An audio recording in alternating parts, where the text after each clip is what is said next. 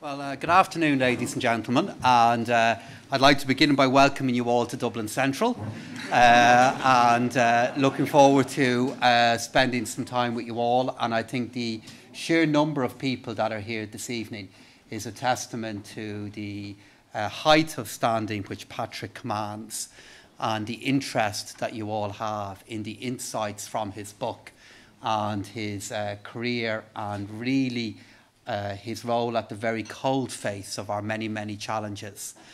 And what I'm going to do in my own few words is uh, just offer some observations on the book that I think are quite relevant to many of the challenges that we face today, and indeed some of the challenges that I'm grappling with myself at the moment.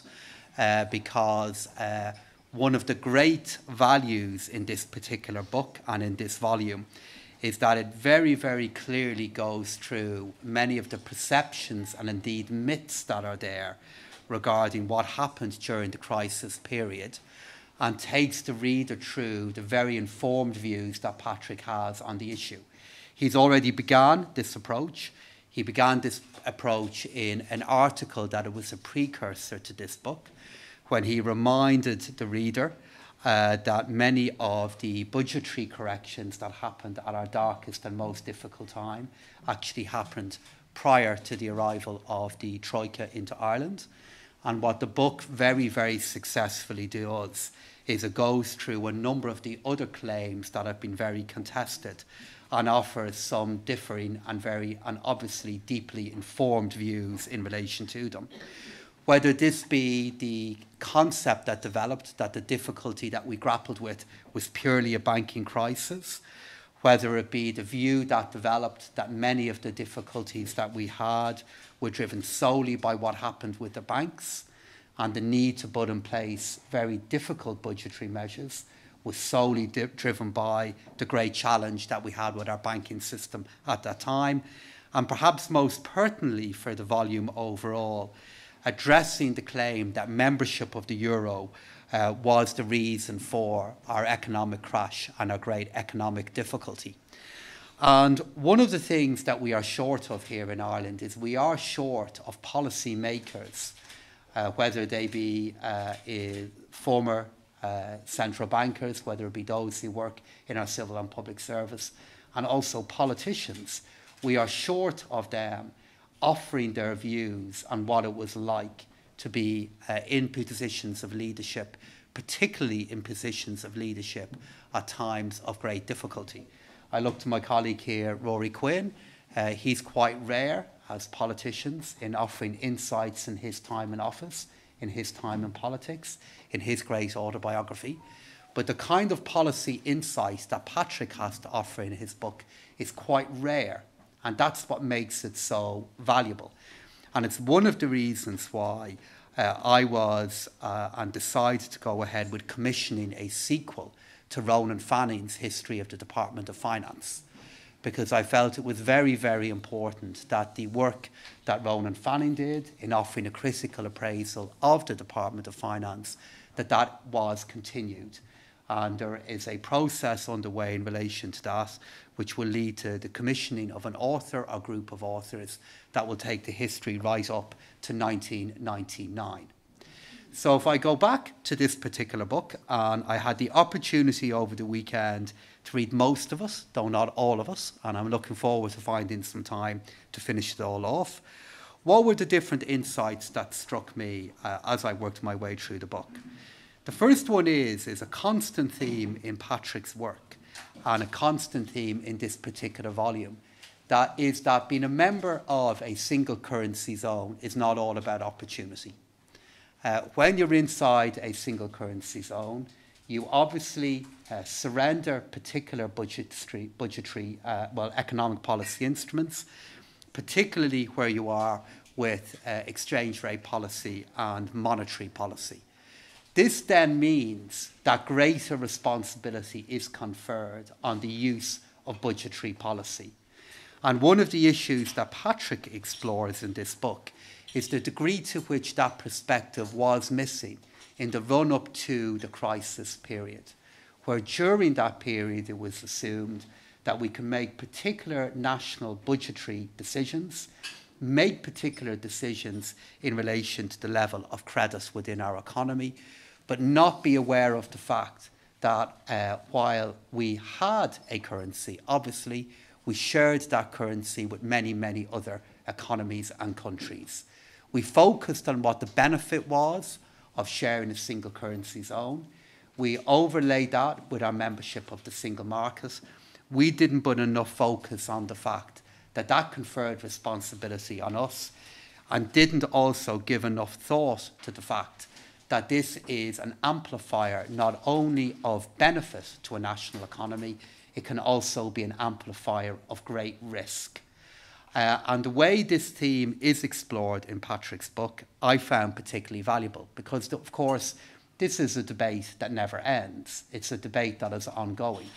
Uh, and as somebody who is immersed in lots of debates at the moment regarding budgetary policy and expenditure policy in particular, the kind of insight that Patrick develops in his book is very relevant to where we are now today. The second theme that was important to me was the other C of the volume, which is, of course, levels of credit. Uh, the book is a solitary reminder, as if we need one, but we always need to be reminded of it, of the supercharged levels of credit that were available in our economy across that period and the catastrophic effect that it subsequently had. It's worth being reminded of what those figures were. In January 2003, up to a peak of May 2008, household credit in our economy went from 57 billion euro to 156 billion euro. That was the rate of change. And as uh, the book also demonstrates, what was really, really vital was not only the quantity of that credit, but it was the composition of that credit, how it was made up uh, by the mid 2000s, two thirds of the loans in our economy had a loan to income ratio that was greater than three and a half, and one fifth of loans in our economy had a loan to value ratio that was greater than 95%. So it wasn't just the level of credit within our economy, it was the composition of it, it was the makeup of it.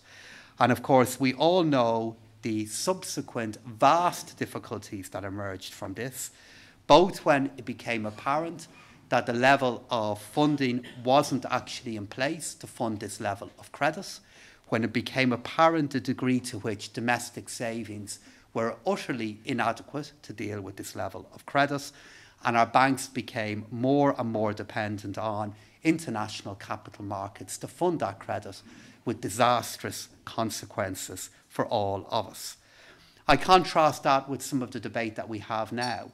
It is striking uh, that we are where we are at this point in our economic development and economic growth with a level of credit that is a fraction of that. In fact, if you look at the levels of credit in our economy over the last number of years, uh, in many different ways, they've been flat, they haven't grown, and we are way below the level of credit that caused such vast harm to us. The next point that, again, I felt was relevant in this book is the work and the debate that Patrick raises regarding the European institutions that were in place across this period. I leave it to others that might speak, or others who read the book, to form a view regarding the role of the European institutions. I'm going to say that quite carefully because I'm still dealing with them myself at the moment. Um, but what is striking in the book is the point that is made again and again is that the institutions, particularly across Europe, were uh, uh, only being put together or were underdeveloped for the scale of challenge that both the Eurozone and Ireland then had to confront. Uh, from an institutional point of view, that's particularly relevant to me uh, last Thursday night, um, uh, I was in Luxembourg for our monthly Eurogroup and ECOFIN meeting. We spent, as can sometimes be the case, up to half four on Friday morning engaged in trying to reach agreement regarding the role of the ESM, regarding the role of the ESM being a backstop to future state and banking difficulties and then engaged in a debate regarding the role and power of the single supervisory mechanism. So Patrick's book is very clear in pointing out many of the issues regarding the institutional deficiencies and capacity gaps that were there.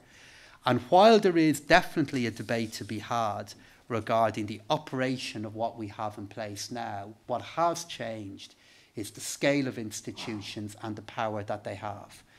And I uh, sometimes make this point in debates on this issue that for those who think our regulation of the banking sector has not changed, they've never dealt with the single supervisory mechanism. It's a very clear example of the change that has happened. The final point that was again relevant to me and work that I'm involved in is the uh, point that Patrick makes in his book, not just about the deficiencies that were there in the design of the Eurozone, but also the deficiencies that we had in terms of our own institutions and their inability to be aware of the responsibilities that they had and their role within a single currency zone. If I go back to the first point regarding the incomplete design of the Eurozone, again, last week we spent a lot of time engaging and trying to see if we could reach agreement in relation to what the term sheet is going to be for what's now called the BIC. The BIC, for those of you who mightn't be aware, is what now is being referred to as the Budgetary Instrument for Convergence and Competitiveness, which is a debate that is underway regarding the new kind of tools the Eurozone may need to support countries who face a systemic shock and what can be done to deepen the tools that are there. The fact that that debate is ongoing and the fact that that work is not yet complete speaks to the fact that some of the lessons and issues that uh, Patrick identified are still really live issues. They're debates that are not yet concluded. And I can see at first hand the degree of tension at times and disagreement that exists, not only regarding the funding of those instruments, but also regarding their use. A similar point is made regarding our own national institutions, regarding their failure across that period. If we contrast that with where we are now, we have a central bank through various legislative changes that has a significantly expanded policy armoury open to us than it did during that period, much of which was instigated during Patrick's tenure as governor. The Oireachtas then made a number of changes, and much of that work now is still ongoing. To give a concrete example of that, tomorrow morning I'm taking to Cabinet proposals in relation to how we can look at strengthening the accountability and the sanction regime available to individual key members of our banks. This is a deficiency that was uh, identified by so many, but the consequences of it and the harm that it imposed on our banks, again, is documented in many works, not only Patrick's, but this work is ongoing. We're still inv- involved in much debate regarding changes that are needed, and this is exemplified by the kind of debate now that we're having in relation to the conclusion of the uh, mortgage tracker saga all of the harm that that did and the inquiry that is still underway in relation to us. A very obvious, very obvious example of the institutional change is now the role of the Irish Fiscal Advisory Council. The debate that I've been involved in and the scrutiny they're placing me under, that is not evidence of institutional weakness. That's evidence of institutional strength. The very reason an organisation like that was set up is to offer views regarding the performance of governments and the responsibilities that they have. And it's then up to the Minister of the day, and obviously me, to form a view on that and to respond back. But this is the kind of change and the kind of contrasting debate and differing views that Patrick, in his book, makes the point is, was conspicuously absent. So, in conclusion, I'm reminded of a comment, and a famous comment that was made by Winston Churchill, when he concluded in one of his works of history that history is written by the victors. In Patrick's book, he makes the point, I think, towards the end, that the scars are still there, so much harm was done, and this is a history from which it's very, very hard to see any victors at all particularly within our own country and our own economy. And a balance that I need to strike, and it's one that I'm constantly in the middle of, is how we can deal with the social scars, how we can deal with the pent up need and demand that is still there, that citizens still feel, while trying to get the balance right between the needs of tomorrow. And this is the challenge of political economy. It's the challenge of being responsible for an economy that's located within a democracy, trying to get that balance right between how you can maintain support for what you are doing in economy and getting the balance right between the needs of today and the imperative of tomorrow. And this is the challenge. Uh, having read much of Patrick's book and having considered some of the points that he made in the book, what I wanted to illustrate is two things. Fact, number one, that many of the issues that he've identified we have made progress on, but we still have more progress to make. And the second point is, is that the uh, level of uh, challenge that Patrick described in his book, the cost that is there, and the harm that it did, not only obviously to our economy, to our society, is something that we always have to remind ourselves of and always have to challenge ourselves to see are there different ways of managing and ways of avoiding this crisis happening again. I believe a really important part of how we have to do that is ensuring there is debate about policy alternatives, ensuring our public debate can be better informed. And one small example of how this is done in Patrick's book is when he goes through the different five currency regimes that Ireland has participated in and goes through the counterfactual example of would we have been better off outside of the euro. And for those of you who want to find the answer to that question, you're going to have to read the book. uh, so, on that note, I just want to not only congratulate uh, Patrick uh, for the book, uh, which is really relevant to many of the issues of today, very relevant to trying to understand where we were in recent years, and obviously, at a moment like this, congratulate him for the extraordinary contribution that he made to our country at a time of great difficulty. Thank you.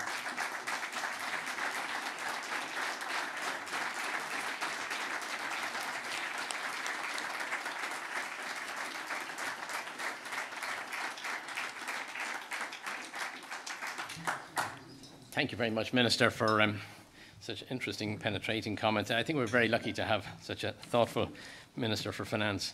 Uh, and it's great to, that he's launched the book in, in such style uh, this evening. Um, thanks are in order, but then even the people in the room, there's so many people to, to thank. Um, certainly have to thank uh, Rory and, and Donal and indeed Jill and, uh, for hosting the event. Um, I was just thinking. I was just thinking, um, talking to, to Donal and to Rory O'Donnell, who's, who's also there, that it's, um, it's now 30 years ago since uh, Donal, uh, since Rory and myself wrote the first book in, in this institute about the single currency. And, um, and look what happened. um, no, but there are so many people. But, uh, my successor, Philip Lane, not only insisted that I write the book and kept on saying, How far is it along now? How, are you doing? But he also made it possible uh, that I would have enough access to the documents that I needed because you can't take. You're not allowed to take, uh, but, and that was important to get make sure that the, the thing is properly documented. And of course, the archivists at, at the central bank. And then I start with the central bank, there's such a list of people who have been vital over the last ten years, um, in, in, one way or another.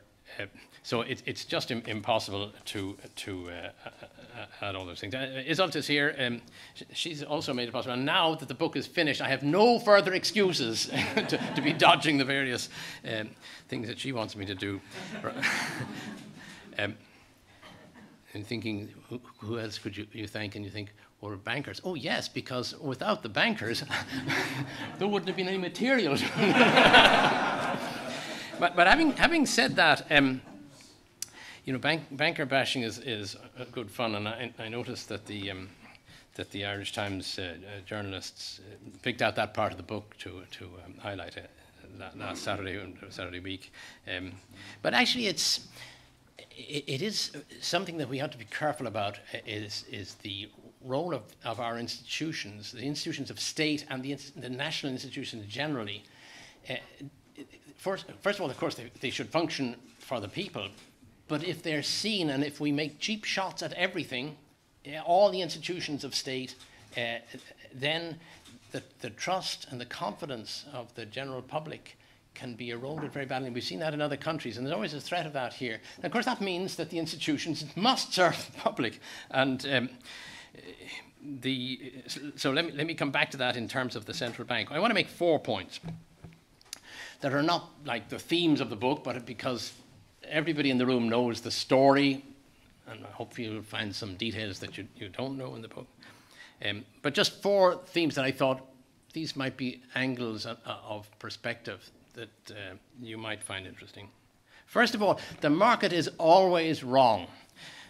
On average, it's right, but it's nearly always wrong. Um, and we saw that in many ways. Uh, we saw how wrong it was in the years before the crisis, up to 2007. Uh, it was wrong because it was over optimistic and thought Ireland, nothing, nothing can go wrong in Ireland. And then after that, and progressively 8, 2008, 9, 10, it became too pessimistic. And it overshot in its pessimism, actually, as, as, as subsequent events showed. And then maybe by about 2013, maybe it had, had it about right. And then with, in some quarters, with the 2015, the 20 something percent GDP growth, markets started to get over optimistic about Ireland again. Now, where are we now today? No, I'm retired, I don't know. But th- we got to be careful, careful assuming that the market has these macroeconomic things right. And that is the reason why we have to have a um, macroeconomic uh, and financial, monetary and financial stability authority. Of course, the public sector can also get it wrong.